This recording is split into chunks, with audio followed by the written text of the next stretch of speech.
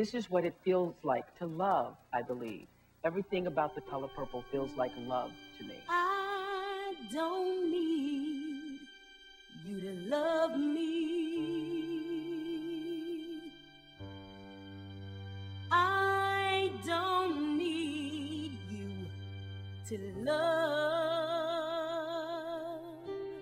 Ah, this, this show is about a lot of things, but it's about music and rhythm and soul and spirit. It was about joy. You know, it's about love. Redemption. Strength. Survival. Sexuality. Joy. Validation. Courage. Exhilaration. Sheer exhilaration. Like, I walked out of there thinking, oh my God, I gotta call my mother. Um, it was a lot of fun, too. People loved it. We kept saying how great it was, how great the music was, and, and how you just get a good satisfaction, appreciation for life and who's important to you in your life.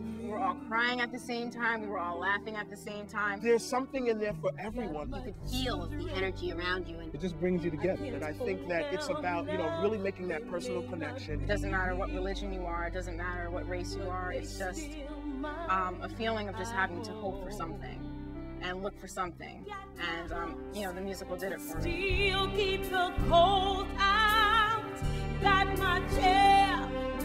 It is a spectacular show. It is a smashing success. It was really terrific. the theatrical event of the year. Right, And you color purple. cried. I cried.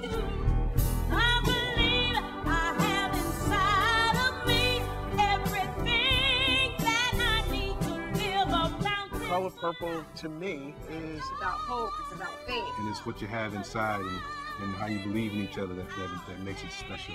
I may be a woman. I know I may be ugly. I may be ugly, I may be That's poor, I may be- of cheese, but I'm here. But I'm here. But I'm here. But I'm here. I am here. It's saying I, the I is very important, I'm here. I'm here and I matter.